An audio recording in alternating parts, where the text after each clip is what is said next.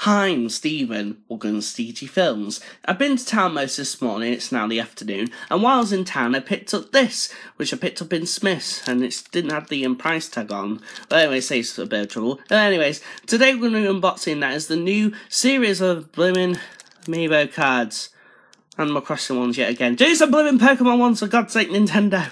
Anyways, but yeah, um, I just thought I'd pick a, another pack up, and since it's a new series, and this only just came up today here in the UK, even though that um, just a week ago, about a week ago, about a week ago, um, it came out in the US, and now it's finally here in the UK. It was quick my jibber jabber. Let's open this.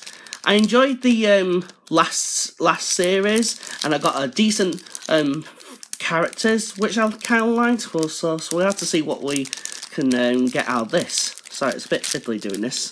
There we go. Unbox this. Sorry, there we go. Butterfingers. Anyway, so let's see what um, characters we get in this one. Oh, that's alright. That's alright. Oh!